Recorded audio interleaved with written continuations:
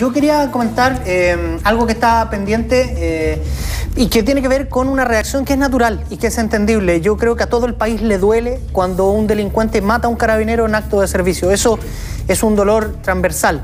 Pero me parece que hace justicia, más que tener una reacción visceral, eh, dar la información concreta respecto de lo que hoy dice el Código Penal, porque hemos escuchado autoridades decir que habría una actitud medio laxa de quienes legislan y que no habría una ley que permita juzgar a quien mata a un carabinero. Le quiero decir que el artículo 391 del Código Penal consigna una pena para quien mata a un carabinero en acto de servicio. Y esa pena es más alta que quien mata a un ciudadano común, cosa que me parece eh, que es válida, porque ese carabinero lo está eh, protegiendo a usted y a mí en el acto de servicio. y por ende hay que darle una pena mayor.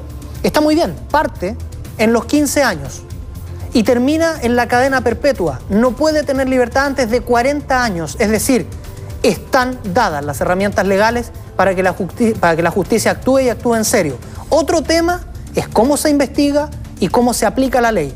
Pero no todo es culpa del Congreso y de quien legisla. Me parece que está claro aquí en, el artículo 391 del Código Penal. Sí, el pato eh, buscó el código y ya lo conocemos. En Chile eh, hay una pena tremenda para alguien que mata a un carabinero, como es este caso eh, de los delincuentes que estaban asaltando esa institución. se ha hecho una relación por parte de las autoridades muy compleja respecto a la, a la votación ayer y la postergación de la ley Hinspeter respecto a la protección de los carabineros.